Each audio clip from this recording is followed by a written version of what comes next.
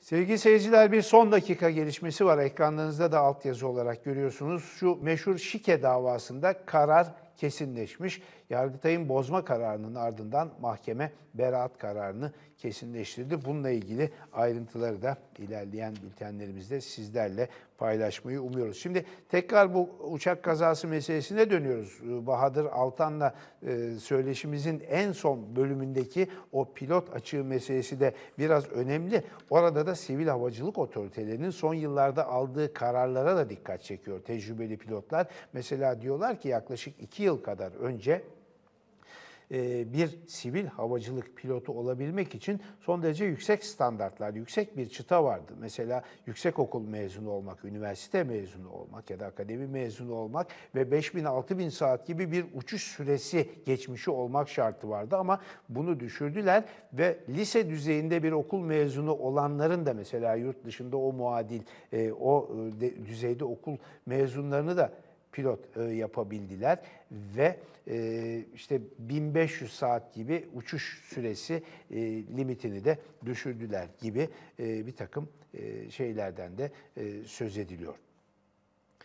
Şimdi e, bir yandan da tabii bu sivil havacılık otoritesine sorulacak sorular açısından e, açısından şu Atatürk Havalimanı meselesi de dünden itibaren tartışılmaya başlandı. Şimdi bakın dün akşam kaza 6-6.30 sıralarında meydana geldi ve e, o e, kazadan sonra, kazanın hemen e, ardından e, bir takım e, tabii güçlükler yaşandı. Haliyle Sabiha Gökçen uçuşlara kapatıldı ve çok sayıda uçak, hani toplarsanız belki yüzlerce uçuş başka havalimanlarına yönlendirildi. İşte İstanbul'un yeni havalimanına, Çorlu'ya, e, Bursa'ya vesaire civar havalimanlarına yönlendirildi ve o yük azaltılmaya çalışıldı. Şimdi bir sonraki soru panosunu getirirse arkadaşlar e, şeye, e, ekrana.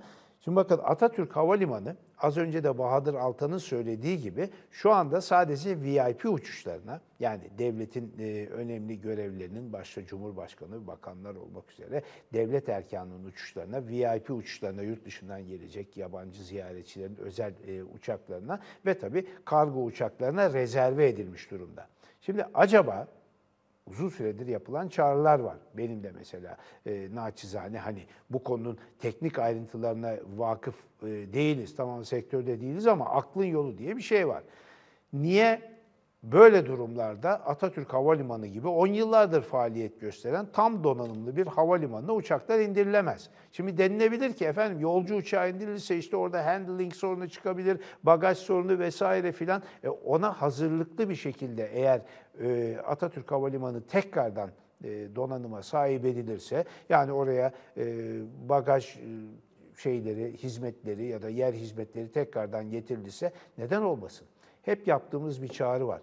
Ve bunu özellikle de köprülerden örnek vererek söylüyoruz. Bakın üçüncü köprüyü yaptınız diye mesela birinci köprüyü iptal mi ettik? Hayır, o köprüde kullanılmaya devam edilsin. Değişik amaçlarla kullanılsın. Mesela Atatürk Havalimanı iç hat seferlerine açılsın. Yeni havalimanı dış e, hatlarda kullanılsın ama böylesine bir acil durumda yüzlerce uçağın civar illere, civar alanlara gönderilmesi, havada turlatılmasının maliyeti trilyonlarca eski parayla katrilyonlarca lira zarara neden oluyor. Emek, insan e, zamanı ya da işte e, para, enerji, yakıt Bunların maliyetini alt alta topladığınız zaman Atatürk Havalimanı'nı sadece 3 kişinin 5 kişinin yararlanacağı özel bir havalimanı olmaktan çıkarmanın faydası ortada. Lütfen aklın yolunu e, dinleyin ve bu inattan vazgeçin demek istiyorum. Bilmiyorum havacılık otoriteleri bu konuda e, ne derler ama e, çok sayıda pilotla konuştum, çok sayıda havacılık uzmanıyla konuştum. Hepsi hiçbir sakınca olmadığını yani uçuş yolları efendim kesişirmiş, iniş, kalkış, yaklaşma yolları bilmem ne çelişirmiş. Hiç öyle bir şey olmadığını söylüyorlar. Bunların hani deyim yerindeyse Allah emri olmadığını, değiştirilebileceğini, bu rotaların planlarının değiştirilebileceğini böyle bir sakınca bulunmadığını da söylüyorlar. Şimdi gelelim bir de bu havacılık kazasında arama kurtarma ya da e, yardıma koşma çalışmalarının nasıl yapıldığına dün akşam bazı görüntüler vardı. Gerçekten rahatsız edici görüntülerdi. O da kurtarma çalışmalarında mesela yaralıların tasnifi, olay yerinde müdahalesi, oradan uzaklaştırılmasında bazı olaylar yaşandı. Mesela apron arabasında, otobüslerde boyun yaralanması, baş yaralanması, travma riski olan hastaların sallana sallana otobüslerde taşınmasının sakıncaları, belki de onların olay yerinde e, ambulanslar ve e, yetkin sağlık personeli gelene kadar bekletilmesi yani tabii ki sıcak tutulmak kaydıyla, yağmurdan, kardan korunmak kaydıyla belki de daha yerinde olduğu deniliyordu. Ama bütün bu sorular sorulmaya muhtaç ve sorulursa bundan sonraki kazalarda bundan da e, bir ders çıkarılacaktır ve inşallah da böyle kazaları bir daha yaşamayız diye bu konunun da altını çizmek istiyoruz ama dediğimiz gibi bu sorular sorulmalı ve biz de zaten bunun için varız.